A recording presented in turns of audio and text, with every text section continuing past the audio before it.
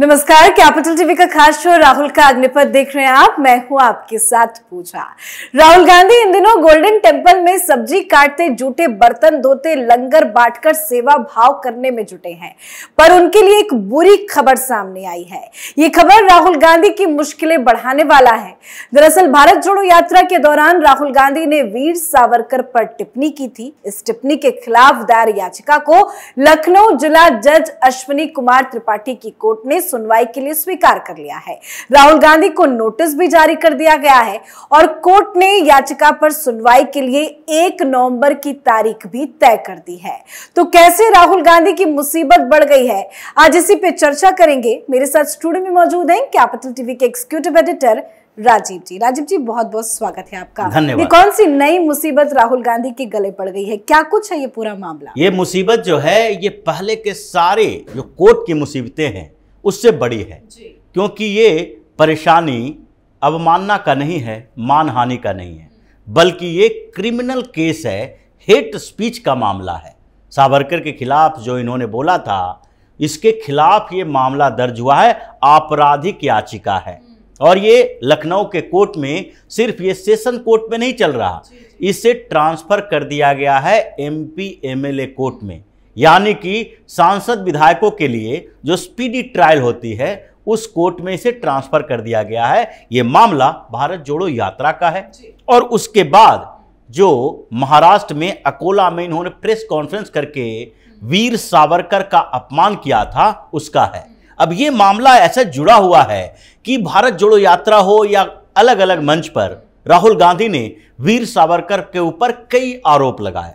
उसमें से एक आरोप यही था कि वीर सावरकर ने अंग्रेज़ों से माफ़ी मांगी और उनसे वो पेंशन लेते थे जबकि वीर सावरकर देश के स्वतंत्रता सेनानी हैं। उन्होंने शुरुआती दौर में डिस्कोर्स पैदा किया कि अठारह का जो आंदोलन था सिपाही विद्रोह नहीं स्वतंत्रता आंदोलन था। ये सिर्फ़ सामान्य विद्रोह नहीं था कि ब्रिटिश सरकार के खिलाफ यहाँ के सारे लोगों ने आंदोलन किया था कि इसकी सत्ता खत्म होनी चाहिए, स्वतंत्रता का पहला आंदोलन। उन्हें अंडमान जेल में भेजा गया था। ऐसा नहीं है कि अंग्रेज़ों ने उनके खिलाफ जो मामले दर्ज किए थे, वो कोई उनका निजी था। वो देश प्रेम का था। और यही मामला अब लखनऊ के कोर्ट में पहुँचा है। ये दो तरह के मामले हैं वीर सावरकर को लेकर। एक महाराष्ट्र के कोर्ट में जो चल रहा है, उसमें वीर सावरकर के पोते ने जो केस किया है, वो है मानहानि का मामला। कि उनके परिवार का मेंबर है और उनका कहना है कि हमारे दादाजी का अपमान बार बार किया जा रहा है, इसलिए ये मानहानि का मामला है, क्योंकि देश में तो वो बोल ही रहे थे राहुल गांधी, विदेश में जाकर भी उन्होंने क्या कहा कि वीर सावरकर के बारे में एक किताब में लिखा है, उन्होंने खुद ज़िक्र किया है कि एक मुस्लिम युवक को तीन लोग पीट रहे थे और ये सब मज़ा ले रहे थे, क्योंकि वो मुस्लिम युवक था। ये जानकारी गलत है फर्जी जानकारी है और उसको कोट करके एक मानहानि का मामला दर्ज किया गया है जो आपराधिक है। लेकिन ये मामला मानहानि का नहीं है। ये है देश में घृणा पैदा करने का। इसलिए लखनऊ के कोर्ट ने सेशन कोर्ट से पहले जब एसीजीएम के पास ये गए थे तो उस समय पहली बार में तो उसे रिजेक्ट कर दिया गया कि ये मामला नहीं बनता है। फिर से रिव्यू पिटिशन दिया। ये मामला सामान्य नहीं है। राहुल गांधी ने क्या बोला? भारत जोड़ो यात्रा के समय वीर सावरकर के खिलाफ जो बातें की वो तो उनका पॉलिटिकल मामला था। लेकिन अकोला में उन्होंने एक प्रेस कॉन्फ्रेंस की और प्रेस कॉन्फ्रेंस में उस व्यक्ति के ऊपर आरोप लगाया जो अभी जीवित नहीं है। पहली बात। दूसरी बात उस व्यक्ति के ऊपर आरोप ऐसे आरोप लगाया जिसकी कोई तथ्यात्मक जानकारी नहीं है। मतलब वीर सावरकर के ऊपर झूठे आरोप लगाया कि वो अंग्रेज़ी सरकार से पेंशन लेते थे। अब ये दोनों जो मामला है एक स्वतंत्रता सेनानी के ऊपर इस तरह के आरोप देश में घृणा पैदा करने वाला है क्योंकि नफरत का माहौल पैदा हो रहा है। ऐसा आप नहीं कह सकते कि वीर सावरकर के समर्थक नहीं हैं। बहुत सारे वीर सावरकर के समर्थक हैं। वो हिंदुत्व के एक ऐसे आइडियोलॉग माने जाते रहे हैं, जो हिंदुत्व की विचारधारा को यहाँ तक लाए। ऐसा नहीं कहा जा सकता कि जो हिंदुत्व की विचारधारा का प्रचार कर रहे थे, वो देश के लिए समर्पित नहीं थे, वो देश प्रेमी नहीं हो सकते। इस आधार पर अगर ये लोग जो बार बार संघ के खिलाफ बात करते हैं, और वीर सावरकर के खिलाफ बात करते हैं, कभी एक बार इनकी औकात है तो बाबा साहब अंबेडकर के खिलाफ बोल के दिखा दें। क्योंकि बाबा साहब अंबेडकर जो इतने दिनों तक संघर्ष करते रहे, दलित उद्धार की बात करते रहे, उन्होंने संविधान के प्रारूप समिति के अध्यक्ष रहे, संविधान निर्माता उनको कहा जाता है, लेकिन स्वतंत्रता आंदोलन में उनकी भूमिका हमेशा संदिग्ध रही है। वो चाहते ही नहीं थे, वो अंग्रेज़ों के साथ बातचीत करते थे, उनका कहना था, मानना था कि अगर ब्रिटिश सरकार यहाँ से चली गई, ब्रिटेन से आज़ादी मिल गई तो यहाँ पर जो जमींदार वर्ग के लोग हैं, जो ब्राह्मण हैं ये समाज पर और राष्ट्र पर कब्जा करेंगे और जिसके कारण दलितों के ऊपर ज़्यादा अन्याय होगा। इसलिए भारत छोड़ो आंदोलन जब गांधी जी ने शुरुआत की थी उस समय बाबा साहब अंबेडकर ने उसका विरोध किया था सपोर्ट नहीं किया था। क्या राहुल गांधी की या फिर कांग्रेस या विपक्ष के किसी नेता की औकात है कि वो इस आधार पर बाबा साहब अंबेडकर के बारे में कह दें कि इन्होंने तो देश के साथ गद्दारी की है? लेकिन ये वीर सावरकर के बारे में कहेंगे। ये आरएसएस के बारे में कहेंगे कि इन लोगों ने देश के आज़ादी के आंदोलन में कोई भूमिका नहीं निभाई, जबकि सबसे बड़ी भूमिका निभाने की बात जिनकी कही जाती है महात्मा गांधी की, उन्होंने कई बार वीर सावरकर की सराहना की थी, उन्हें देशभक्त बताया था। संघ के बारे में गांधी जी का एक कोट है कि इससे बेहतरीन सामाजिक सेवा वाला कोई संगठन नहीं है, जो भूकंप के समय, बाढ़ के समय लोगों को पीड़ितों की सहायता करता है बिना कोई स्वार्थ के। लेकिन ये अगर ऐसी बात कर रहे हैं तो यानी कि ये हेट स्पीच का मामला है नफरत फैलाने वाला है। एक तरफ़ सुप्रीम कोर्ट में इसकी सुनवाई चल रही है और सुप्रीम कोर्ट ने साफ़ तौर पर कहा कि राजनीति में नफरत पैदा करने वाले कोई भी भाषण जो हेट स्पीच में आता है उसको एक ही स्तर पर देखा जाए। उसको ऐसा ना देखा जाए कि ये उस मामले में है तो उसको सजा नहीं मिले दूसरे मामले में दूसरे की सजा मिलेगी। और यही लखनऊ के कोर्ट की नोटिस है और मामला एमपी एमएलए कोर्ट में पहुँचा है। मतलब दो तरफा कार्रवाई। एमपी एमएलए कोर्ट जिसने आज़म खान की सदस्यता खत्म की जिसने हेट स्पीच में भारतीय जनता पार्टी के एक विधायक की सदस्यता खत्म की जो दंगा के आरोपी माने जा रहे थे।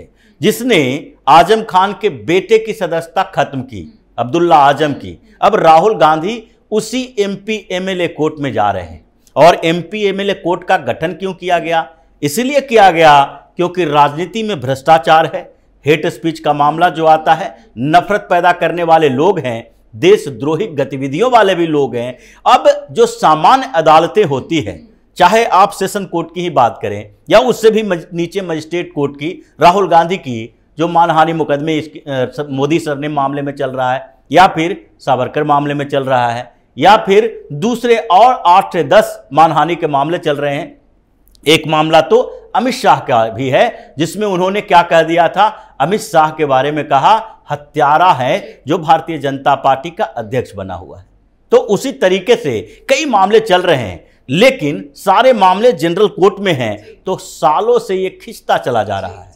दो महीना में, तीन महीना में सुनवाई होगी, उसके बाद अगले तारीख पर तारीख पड़ेंगे। ये तो पहली बार मजिस्ट्रेट कोर्ट ने मोदी सर ने मामले में राहुल गांधी को इतनी जल्दी सजा दी।